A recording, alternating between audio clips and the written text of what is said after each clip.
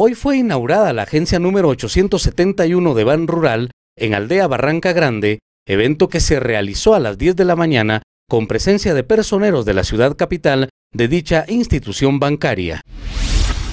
Parte de la política del banco de los últimos años es, eh,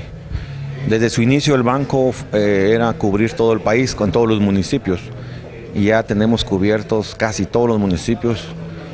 ya empezamos a ver la necesidad de llevar el banco a lugares fuera de los municipios, como en este caso, en esta aldea. ¿Por qué Barranca Grande? Eh, si ustedes ven o los que conocen Barranca, Grande saben el potencial económico de acá, todo lo que tiene producción de café en comercio, eh, remesas, en fin, es un área muy productiva.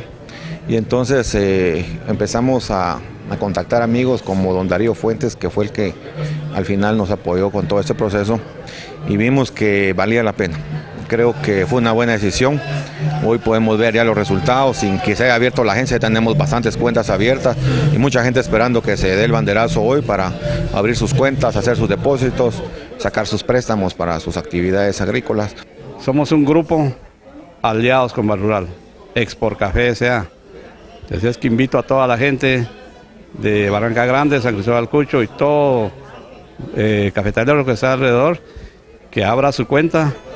para que hagamos las operaciones en automático y no haga eh, tanta gestión, ir a cobrar un cheque a la ciudad de Cotepeque, eh, correr el riesgo en el camino eh, y luego más tardado. Aquí vamos a hacer la operación Plan Amigo. Desde la compañía vamos a trasladar los depósitos directos al banco y no vamos a estar girando cheques ni recibos ni nada por el estilo, sino va a ser en automático. La gerente regional Área San Marcos, licenciada Karina Joachín, manifestó su alegría al haberse logrado una institución de esta magnitud en una aldea y que ésta pertenezca al municipio de San Cristóbal Cucho de este departamento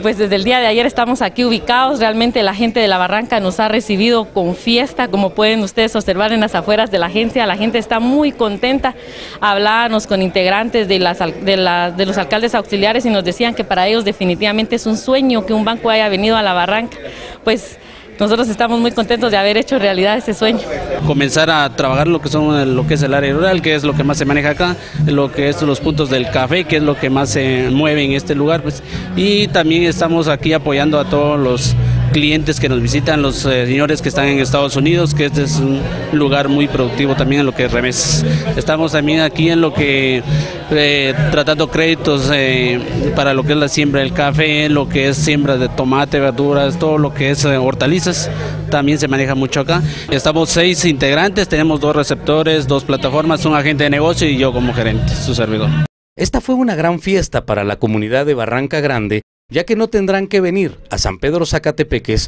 o a San Marcos, cabecera departamental, para realizar algún trámite que pueda hacerse en dicha institución bancaria. Con imágenes de Henry Pérez, reportó para 4 News Enrique de León.